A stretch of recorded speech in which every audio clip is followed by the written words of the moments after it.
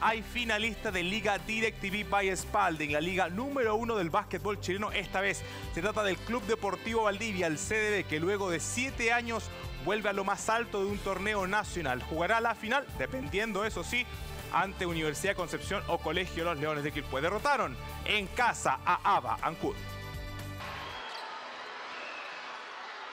Arteaga buscando por tres. El rebote de Sandoval. Fin de las acciones. Terminó el partido.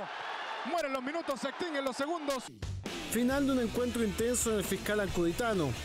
3 a 0 se cerró la serie para Club Deportivo Valdivia ante Avancud, que se convertía en finalista de la Liga DirecTV Spalding, pese al esfuerzo local, pero también a costa de sus errores.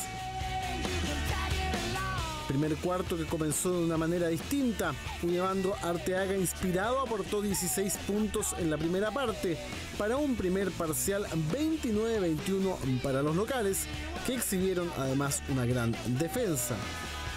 Evandro Arteaga por tres. Arteaga por tres. Pero las cosas comenzaron a cambiar desde el segundo cuarto. Arnold Luis y Sebastián Suárez aportaban los goles y el marcador se inclinó para la visita por primera vez, 39-38.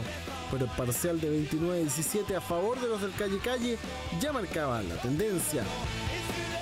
Para colmo de males de Encud, Carlos Muso solo podía contar con un Juan Coronado a media máquina. Aquejado de fuertes dolores estomacales, el venezolano solo pudo aportar 6 puntos, pero aún el partido estaba abierto. El segundo cuarto se cerraría por un remontable 50-46 a favor de los valdivianos. El CDB comenzó a poner los cimientos de la victoria en el tercer parcial, cuando llegó a diferencia de 9 puntos a favor. Cayó Krutzmann. Rebote de Summers y dos más para Valdivia. Darren Summers lideraba el goleo y Muso debió poner todas las fichas antes del fin del cuarto, que se cerró en un más estrecho 74-65. Logrando un parcial favorable de 12-0, Ancud parecía volver al partido. Valdivia apostaba a las ofensivas largas y el tiempo le dio una última oportunidad a la Celeste. 90-87 a 12 segundos del final para los rojos, mientras que los celestes, con una valiosa posesión, soñaban con un triple para luego ir a buscar la victoria en el overtime.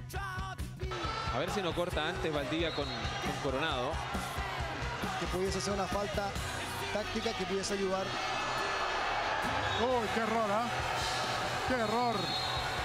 En la última jugada Arteaga lanzó incómodo de 3, pero la naranja no entró. Una diferencia del mismo número que finalmente sería insalvable.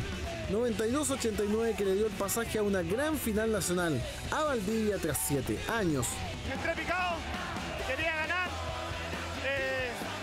hice todo lo que, lo que necesitaba el equipo, así que nada, estoy feliz por el triunfo, pero no, estoy tranquilo.